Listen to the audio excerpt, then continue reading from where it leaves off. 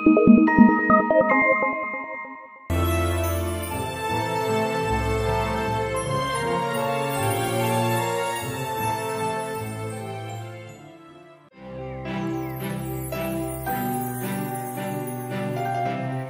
காலத்தில் கீரி ஒன்று வாழ்ந்து வந்தது.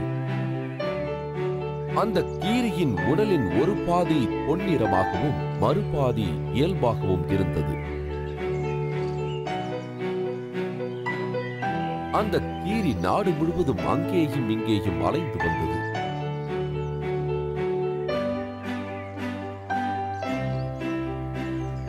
அது செல்லும் இடமெல்லாம் கீழே உருண்டு புரண்டு மீதம் இருக்கும் பகுதியும் பொன்னிறமாக மாறுமா என்று சோதனை செய்து பார்த்தது. ஆனால் அது எதிர்பார்த்தபடி மறுபகுதி பொன்னிறமாக மாறவே இல்லை. இதனால் அந்த கீரி மிகுந்த வருத்தமடைந்தது.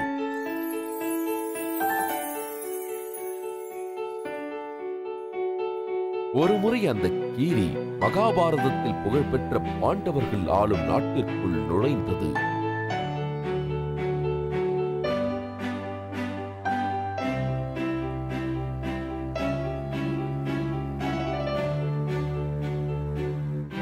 அந்த நேரத்தில் பாண்டவர்கள் அந்நாட்டு மக்களுக்கு உணவும் ஆடைகளும் கொடுத்து வந்தனர். ஒரு பெரியவரின் பின்னே அமர்ந்து கொண்டிருந்த கீரி இதை அனைத்தையும் பார்த்துக் கொண்டிருந்தது. இந்த பாண்டவர்கள் அனைவரும் மக்களின் சேவைக்காகவே பிறந்தவர்கள். தர்ம நெறியில் அனைவருக்கும் உதவுவதற்காக தங்களின் வாழ்க்கை முழுவதையும் அர்ப்பணித்தவர்கள். என்ன? இது மிகப்பெரிய தியாகம் அல்லவா? அவர்கள் தங்களது உணவையே தானமாக கொடுத்துள்ளார்களே. இது உண்மை என்றால் இந்த நிலத்தில் நான் உருளும் பொழுது எனது உடலின் மற்ற பகுதிகளும் நிச்சயமாக பொன்வண்ண நிறமாக மாறிவிடும். நீ என்ன சொல்கிறாய்? அந்த கீரி மீண்டும் உருண்டு புரண்டது. ஆனாலும் மீதமுள்ள பகுதி பொன்னிறமாக மாறவே இல்லை.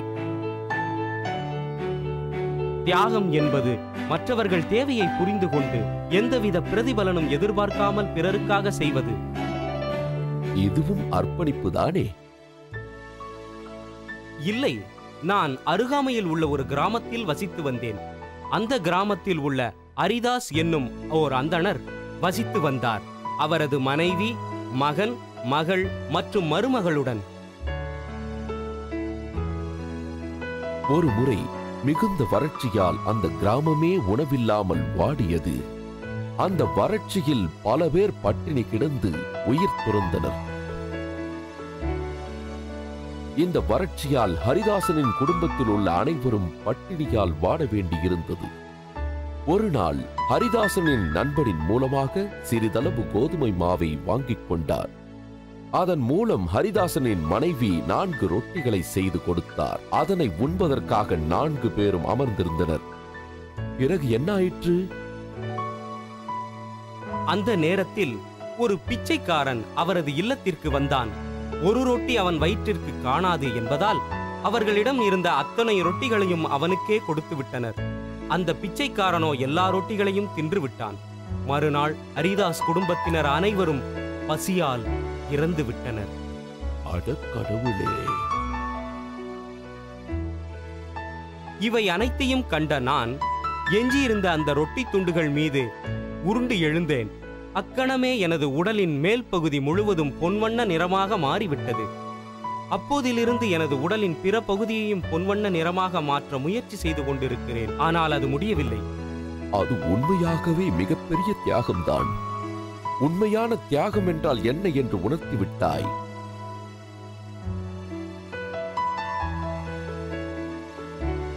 அந்த கீரி மீண்டும் வேறு ஒரு நகரத்திற்கு சென்றது.